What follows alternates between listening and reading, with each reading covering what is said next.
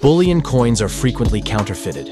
However, there is one coin that is nearly impossible to fake, the Britannia, a four nines fine pure investment coin minted by the Royal Mint since 1987. This coin is available in gold, silver, and platinum. The reverse features the goddess Britannia, a symbol of Great Britain, adorned in a Corinthian helmet, with a shield and Poseidon's trident.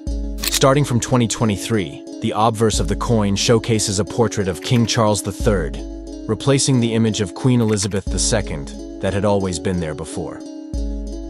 In October 2020, four security features were added to the design of the gold Britannia coin, making it almost impossible to counterfeit.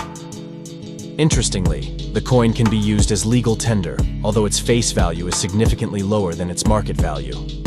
A one ounce coin equals 100 British pounds sterling. You can buy it at bullionexchanges.com.